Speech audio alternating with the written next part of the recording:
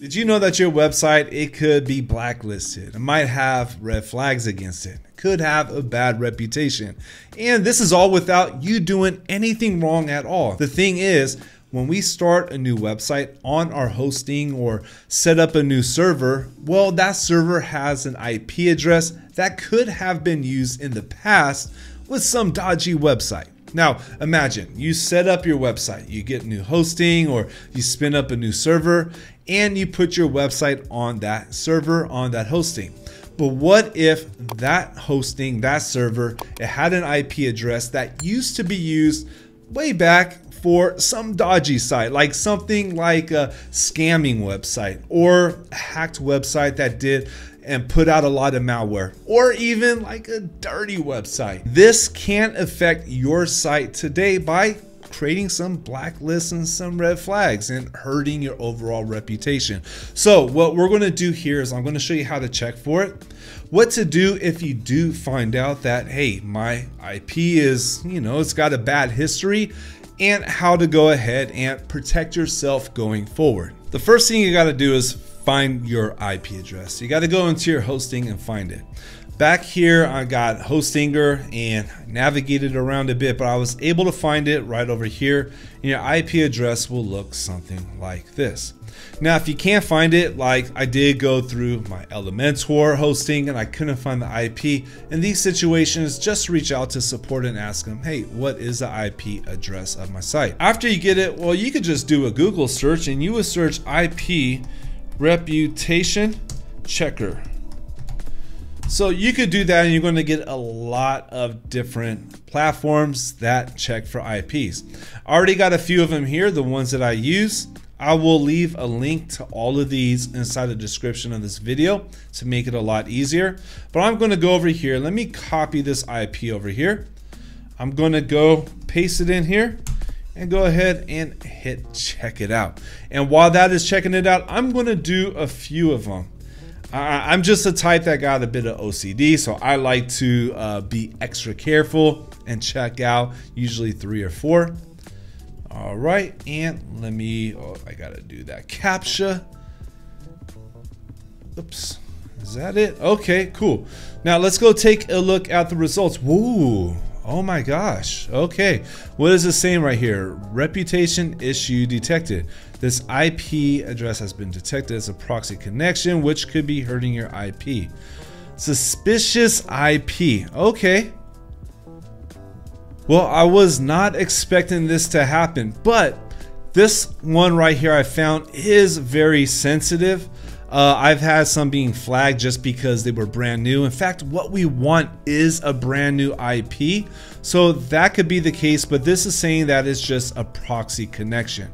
It is showing though that it's not on any blacklist. So even though it's saying suspicious, it's not saying it's bad. Let's see what happens when we perform a full lookup. Okay. So all right, nothing found for the spam report. It's proxied.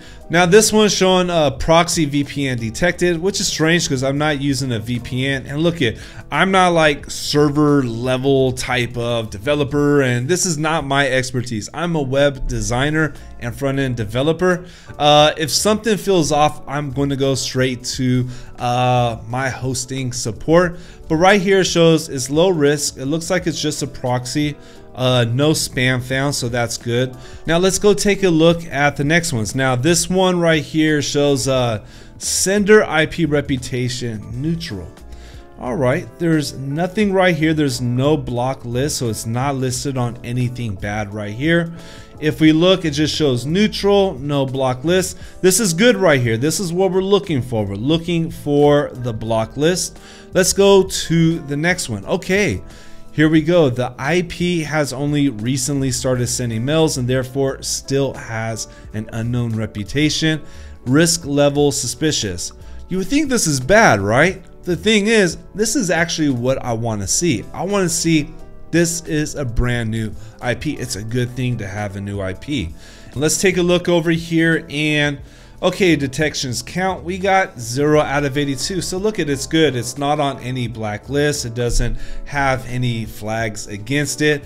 And right now what we're getting, and I wasn't expecting this. I wasn't expecting, because I didn't test this before.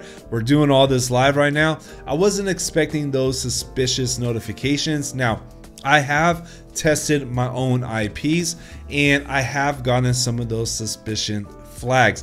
But that does not mean the website is flagged. It means that the IP is brand new. That was it. And that is what we're looking for. In fact, if we go over here, we could see that everything is set up right. Now, this is what Hostinger, they have the proxy on it. You know, they have it set to true. Uh, not sure what that means, but I'm sure if it was bad, it would probably be red. This to me looks like a very good brand new IP address, something that I am happy to have. And Hostinger is a good host, so I do expect this kind of level from them. And here's the thing, some hosts are known for having and reusing bad IPs. Now, if the IP is bad, it should be junked, but some of them still repopulate and reuse those bad IPs. This looks good right here to me. I have though been on the other side where I've tested an IP, one of my own servers, and the IP came out and turned out that it was on a few blacklists. I had no idea. The IP was dirty. It was a dirty IP. So in that situation, what I had to do was I had to spin up a new server and I had to migrate the sites over to it. And now what I do is every time I do start a new server, I always check the IP first. This way I can prevent any harm coming to my domain, the ranking, uh, emails that are being sent out, the things that these blacklists can affect.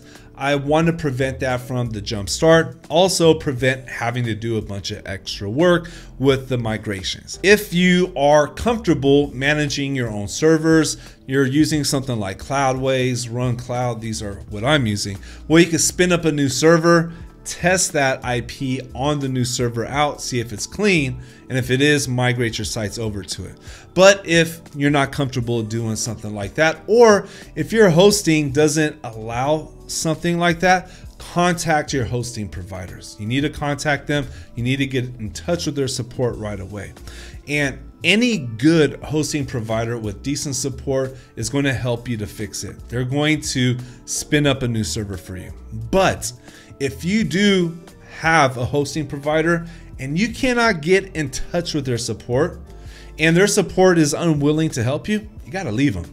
Look at here's the thing when it comes to hosting. There's good hosting, there's bad hosting. And bad hosting is going to have a very very negative and costly effect on you and your websites in the long run. You want to avoid them. And as soon as you identify your host as being a bad host, run, get you a good one. This is the reason why I promote only really good hosts that I know support is going to be there to help. Now I use Cloudways, I use RunCloud, I use Hostinger. These are my go-tos. Get good hosting. That is the key and the secret to fixing these issues if they come up. I'll leave links to those inside the description. Well, I hope this quick tip of the day helps you out. I hope that it helps you protect your site. Let me know too, do you have any tips for protecting websites when you start them off? Or has this happened to you? Let us know inside the comments. And that's it for this video. Also, don't forget to do all that good YouTube stuff. You know, like and subscribe. Also share this one because this one, this is one of those things that, I mean, for myself, I didn't realize how important it was. I didn't even realize that I needed to do this until I found out, I heard from somebody else. I went and checked my IPs and I had a bunch of servers. One of them was flagged. I did not know it. It had a bad history. So I had to clean that up.